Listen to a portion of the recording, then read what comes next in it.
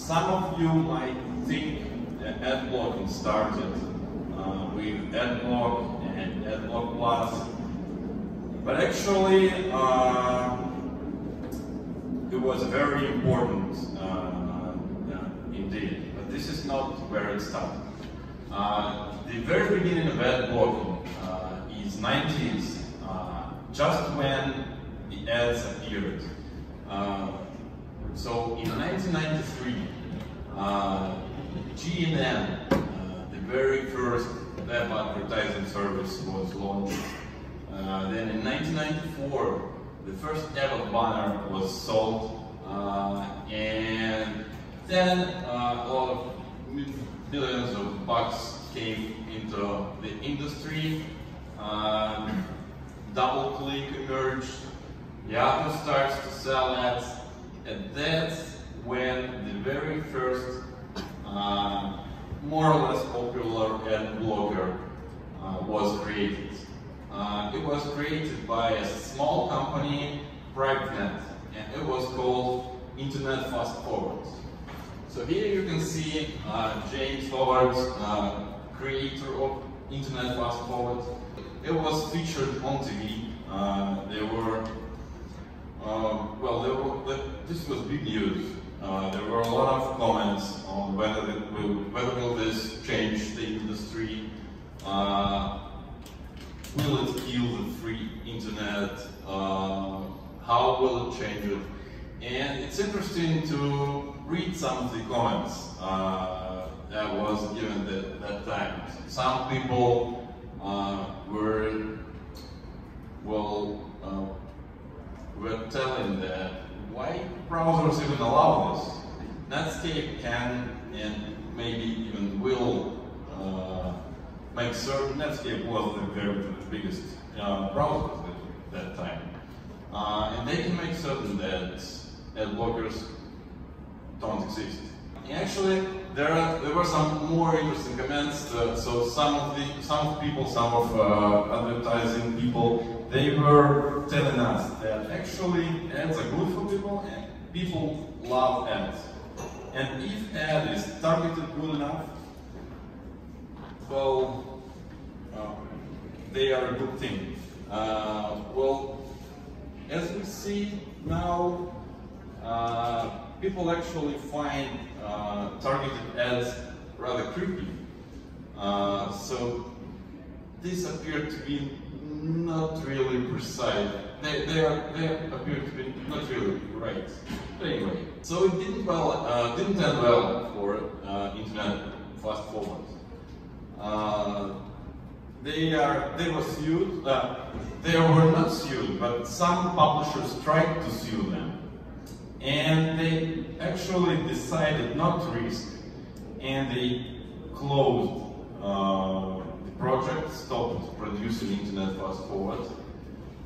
Uh, and that's how it ended for the very first network. Um, let's go for it. But uh, as you can see, uh, it didn't help. Uh, ad blockers started to appear uh, quickly. And, and, just in a couple of years, uh, there were like more than five, actually seven. And this is not the full list. There were more, more actually, uh, more developers, and they started uh, to become popular. And so, year 2003, uh, AdBlock add-on for Phoenix browser was created. Uh, and this is actually a very important milestone because AdBlock changed uh, AdBlock world. Uh, let's let's see. This is the very the very first introdu intro introduction of, ad of AdBlock. Uh, the guy Henrik uh, is the creator of add-on, and so he just posts on a Mozilla forum here and made work. Uh, but not everyone liked it. so, and surprisingly, uh, even now I see a lot of comments like this. Why do you need an ad blocker?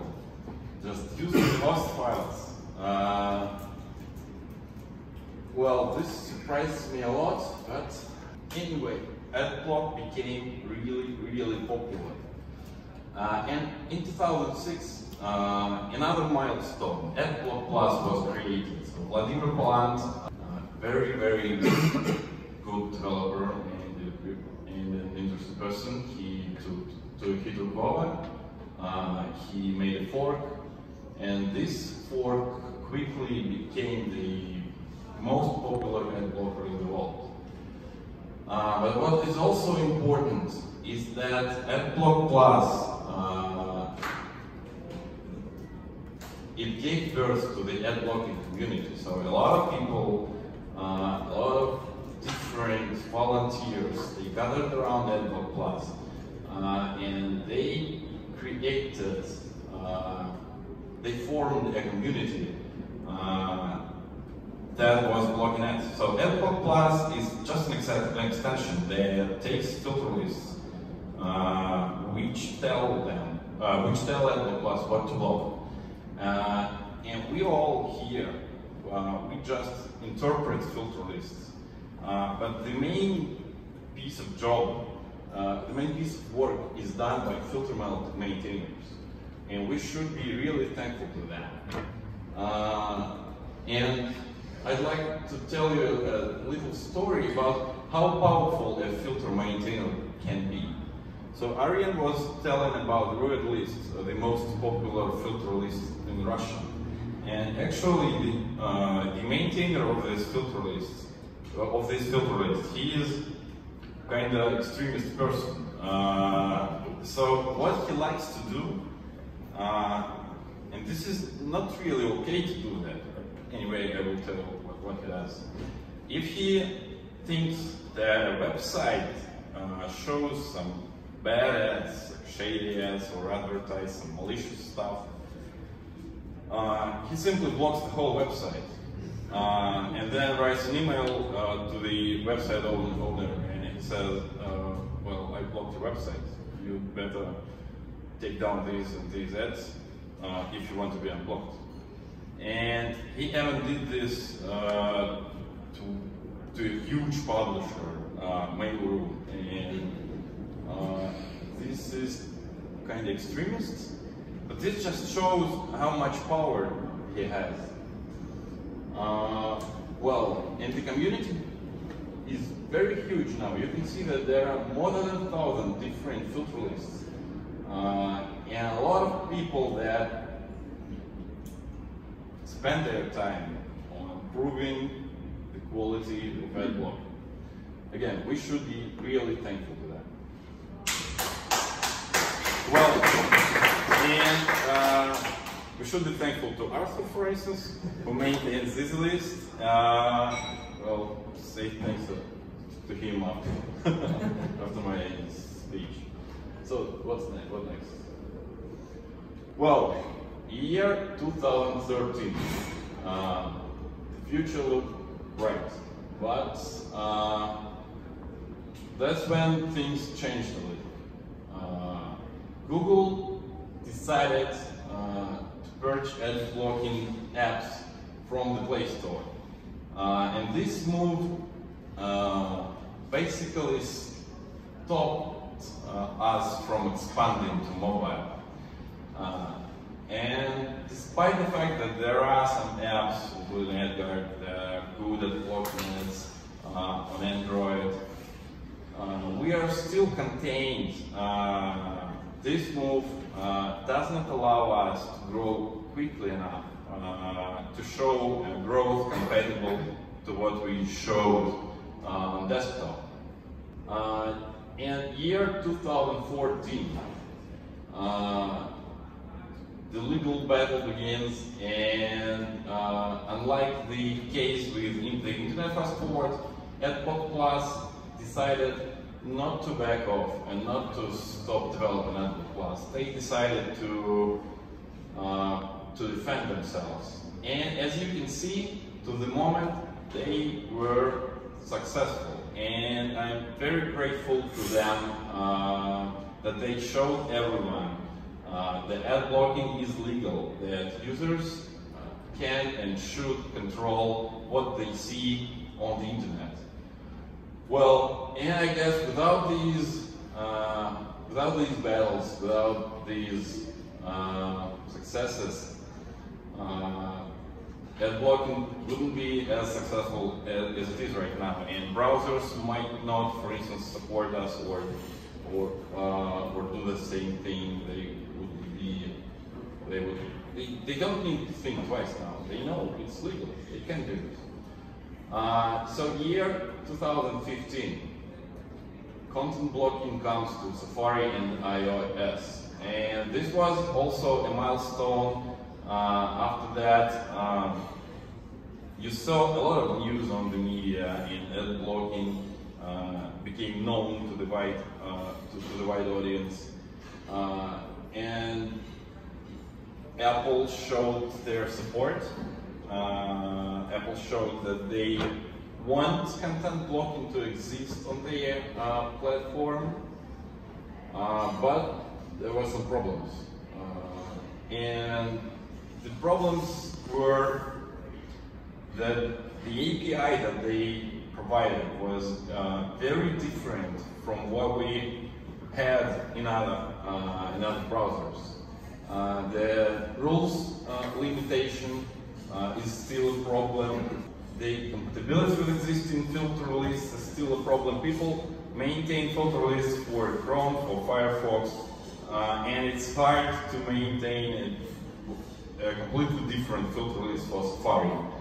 Uh, no debugging, it, it's really quite a problem to make uh, to support Safari extension. You actually don't have enough tools. And there were concerns, uh, again, by Adblock Plus guys, there were concerns that uh, remind me about the concerns that I hear now about Manifest v3. Uh, the same thing, uh, it is not fully compatible, it is insufficient, all this kind of stuff.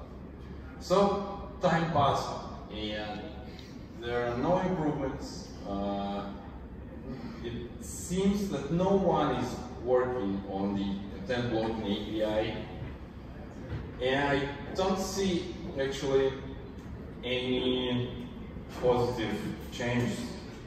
And uh, what we fear now uh, is that this might happen to Google Chrome as well. So this might not come true.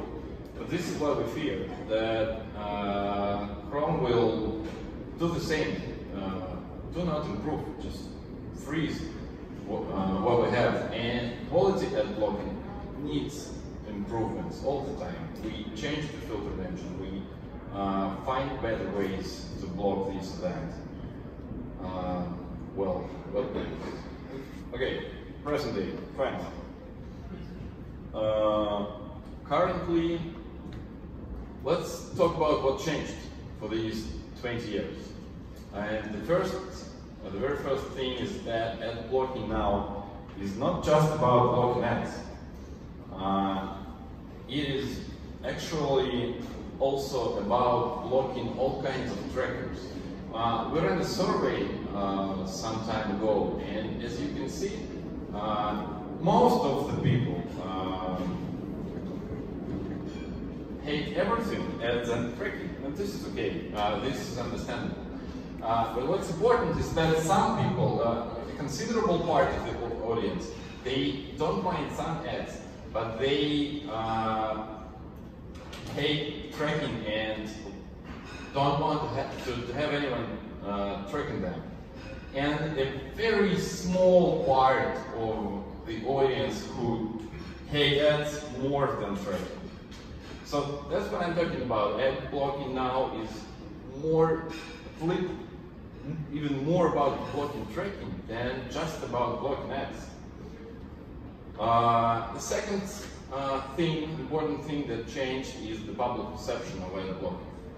Uh, 20 years ago, when PrivNet, uh, emerged, uh, there were a lot of people who saw this as a, uh, as a threat to the internet. Currently, most of the people do not see ad blocking as, as a threat. Uh, and uh, it seems that the internet is able to adapt even to the even to the situation when 20% uh, of people totally block every ad on the internet. Uh, they introduce subscription models, they communicate to the audience, they ask support websites, and it all happens, and we don't even need to help them with that. So the internet adapts, uh, publishers adapt, and everything looks natural. Uh, then the third point, advertisers realize that ads shouldn't be annoying. In better ad standard, uh, it might be a little bit too lax, but it is generally a good thing. Yeah, they are yet to realize that ads shouldn't be creepy following and all this stuff. But anyway, this is a proper direction. Maybe they will understand the value of privacy in the end. Uh, and it is now mainstream. So every browser has some built-in content blocking capabilities. Sorry guys. but, uh, well, even Google talks about privacy. Uh, well, well, this is a good thing anyway. So they uh, they are improving, uh, and uh, and I see uh, a lot of potential here.